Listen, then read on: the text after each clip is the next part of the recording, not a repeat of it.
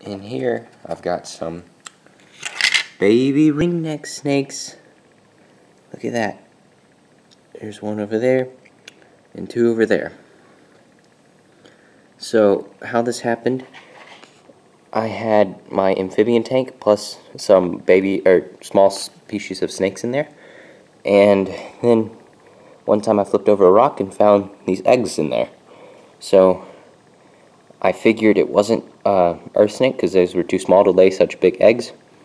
And it's not a DeKay brown snake because those are live bearing. So I figured it was a ringneck egg. And look at that. We've got three little ringnecks in here. Now the mama ringneck, she laid four eggs, but only th uh, three survived. But I'm I'm so glad they all hatched.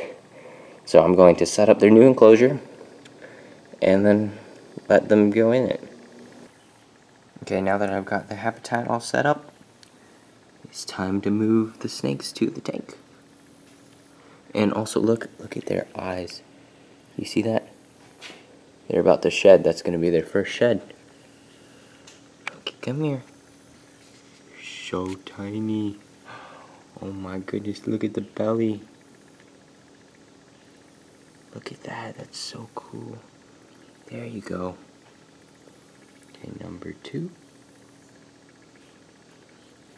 There you go, little buddy. And last but not least, number three. There we go. Three little baby ringnecks. That is so cool. Oh, I see you poking out your head right there. Oh, everybody's poking out their little head.